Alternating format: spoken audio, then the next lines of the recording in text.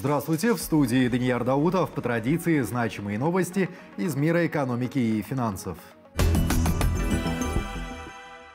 Несмотря на популярность гаджетов, поклонников печатных изданий в Казахстане меньше не становится. Наоборот, спрос на них только растет, отмечают в крупной сети книжных магазинов страны. Что интересно, социальные сети только подогревают этот интерес. Как обстоят дела на книжном рынке страны? По данным Energy Prom KZ, в прошлом году издательства заработали рекордную сумму за последние пять лет. И доход превысил 61 миллиард тенге. 44% в их деятельности занимает выпуск газет и журналов. В ассоциации франчайзинга отмечают, что художественной литературе в ней отведена минимальная доля, хотя авторов в стране много. Дело в том, что литературный процесс в Казахстане не налажен.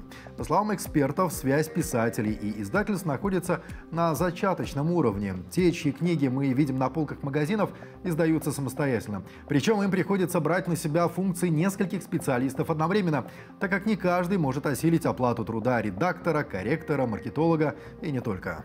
Книжный рынок э, Казахстана очень маленький, и очень трудно какому-то писателю, это единицы, чтобы он смог заработать, да и в мире, наверное, чтобы он мог заработать и окупить свои труды. Средняя маржа магазинов обычно 20%. Все испытывают проблемы именно с изданием книг. Нынешнему писателю приходится полностью весь процесс брать э, от начала до конца. От написания до печати. Классическая схема в больших читающих странах, развитых странах. Там издатель полностью берет на себя писатель только просто пишет. Главным поставщиком книг для нас является Россия. Также литературу различного жанра в Казахстан возят из Великобритании, Турции, Германии, Китая, США.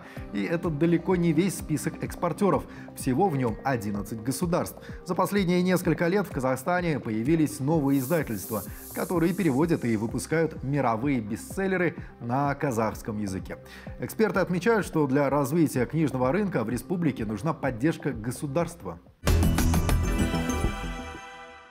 И в продолжении темы. Услуги по печати газет в прошлом году составили почти 22 миллиарда тенге. Это на 16% больше, чем в 2021 передает Energy Prom KZ.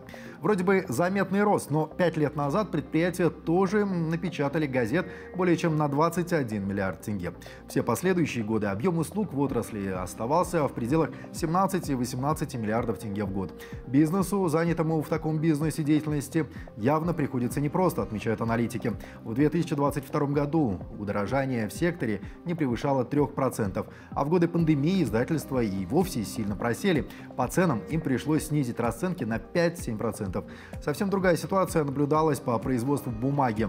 Основное сырье для выпуска газет дорожало каждый год, кроме 2019 -го. В прошлом году бумага стала дороже на 16%, еще раньше почти на 9%, а в 2018 и вовсе на целых 28%. И к другим темам. Абсолютная стабильность наблюдается на первичном рынке жилья. По данным Бюро национальной статистики, за май цены на квартиры в новостройках не изменились. Общий показатель по стране остался на уровне апреля. Два месяца назад первичное жилье в республике подешевело на 0,6%. Незначительные изменения произошли в двух городах – Шимкенте и Атырау. В первом случае новостройки стали дешевле на 0,9%, а во втором, наоборот, они подорожали на 1,3%. Сколько в среднем стоит квадратный метр жилья в новостройках? Аналитики крыши KZ подсчитали, что в мае его оценивали в 486 тысяч тенге. Самые высокие цены, как и прежде, в Астане и Алматы почти 600 тысяч тенге. Тройку замыкает Шимкент свыше 400 тысяч. Самые дешевые квадратные метры в среднем в следующей тройке городов. Это Жесказган 160 тысяч тенге, Актобе и Уральск почти наравне, на уровне 270 тысяч тенге. В завершении к другим темам на 10% увеличилось производство безалкогольных напитков в Казахстане. В первом квартале этого года предприятия получили больше 700 литров продукции. Сюда же входят минеральные воды. Об этом сообщили в Бюро национальной статистики. Экспорт продукции вырос на 23%. За рубеж отправлено 43 миллиона тонн минеральной воды и безалкогольных напитков. В свою очередь импорта тоже стало больше на 15%. Завершаю обзор курсом валют.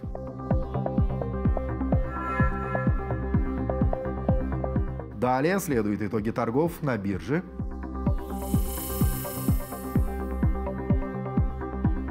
На этом у меня все. До встречи в следующем выпуске.